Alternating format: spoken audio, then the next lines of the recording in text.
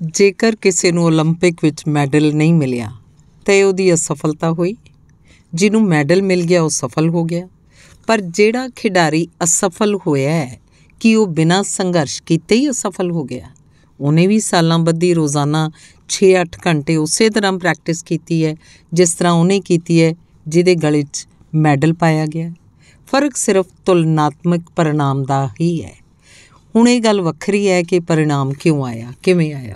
ਪਰ ਜੂਝਣਾ ਤਾਂ ਉਹਨਾਂ ਨੂੰ ਵੀ ਪਿਆ ਸੀ, ਜਿਨ੍ਹਾਂ ਦੀਆਂ ਗਰਦਨਾਂ ਸੁੰਨੀਆਂ ਰਹਿ ਗਈਆਂ। ਪਰ ਜਿਹੜਾ ਹਾਰਿਆ ਹੈ, ਉਹਦਾ ਨਾਮ ਦਰਜ ਹੋਏਗਾ, ਭਲੇ ਹੀ ਹਾਰਨ ਵਾਲਿਆਂ ਦੀ ਸੂਚੀ 'ਚ ਦਰਜ ਕਿਉਂ ਨਾ ਹੋਵੇ?